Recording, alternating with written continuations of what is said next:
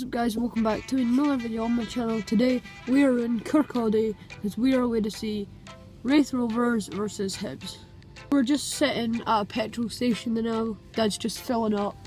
Um, so the predictions for today is a 1-0 win to Hibs. The worry I have is Raith Rovers have a new manager, um, so he might be a bit of, uh, he might have got them pumped up uh, ready to win the game, but I doubt it. Guys, we will get predictions from my dad when he's done. He's just in the shop away to pay. Um, so yeah, let's let's see his predictions.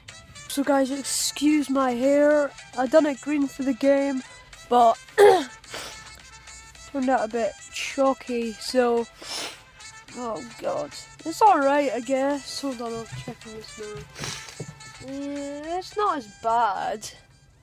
It's not, it's not that bad. Okay Dad, so what's your predictions for today? 2 0. 2 0. 1 the Hibs. Ladies and gentlemen of Fife football, Fife football fans in training, FFIT Raith Rovers.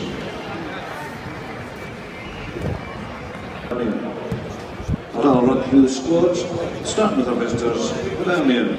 Number one, Ofir Marciano. Number two, David. Number five, David 14. Six is Marvin Bartley. Wearing seven is John McGinn. Eight, Fraser Fyvie. Sixteen, Lewis Stevenson. 19, James Keatings. 24, Dan McGregor. Number 29, Brian Graham. And number 35, Jason Cummings. Substitutes for Hibs. Number 31, Ross Laidlaw. Number 9, Grant Holt. Number 52, Callum Donaldson. Number 17, Martin Boyle. Number 27, Chris Humphrey. Number 43, Callum Crane. And number 48, Scott Martin. I give you the keys off. The Hibernian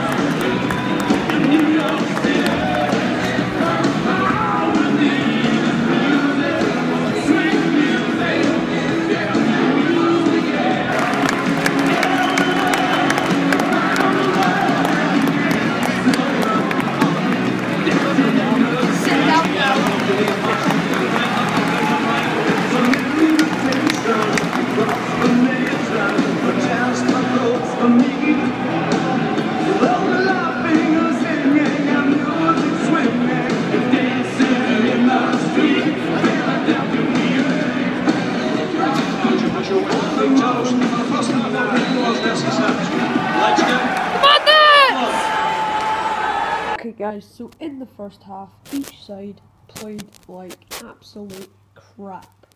Obviously, I'm going to start with uh, your most memorable.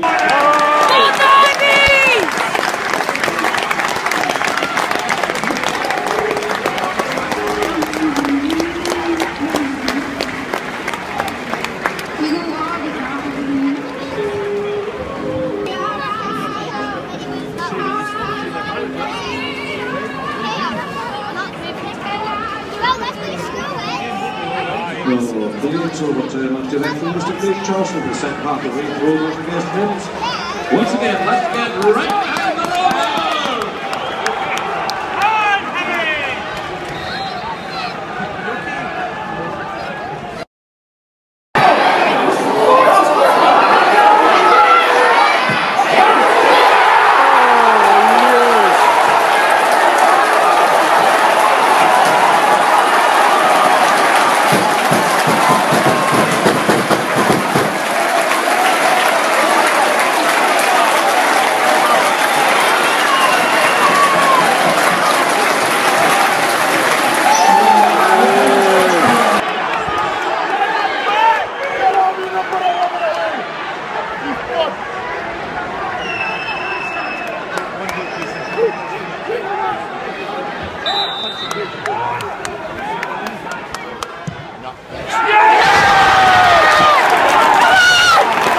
ended 1 1.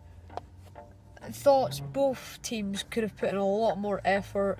Uh, during the end, uh, Hibs slipped a wee bit and Raith did get a couple of good opportunities. Um, apart from that, Hibs, I reckon, did kind of have the game. Um, but I do think both sides, like I said, could have done a lot, lot better. So, guys, I'm away to have a McDonald's is just gonna be good. The only thing I can celebrate is this McDonald's.